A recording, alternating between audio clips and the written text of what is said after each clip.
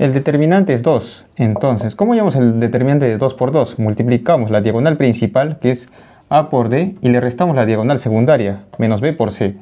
Y eso es 2. Muy bien. Acá lo mismo. Tenemos que hallar el determinante y bueno, y ver qué respuesta nos sale. Acá sería 2 más A por D, la diagonal principal, menos la diagonal secundaria, que es B por 2 más C. Más 2 por 1 por B, B. Menos 1 por D, D. Distributiva, ¿no? 2D más A por D menos, acá también distributiva, 2B menos BC más 2B menos 2D. Muy bien, acá se va, ¿quién se va? Se va a 2D menos 2D se va. ¿Quién se va también? Eh, se va este 2B menos 2B. ¿Y qué me va a quedar? AD menos BC. Pero eso, ¿cuánto era? 2. Por lo tanto, la respuesta es 2.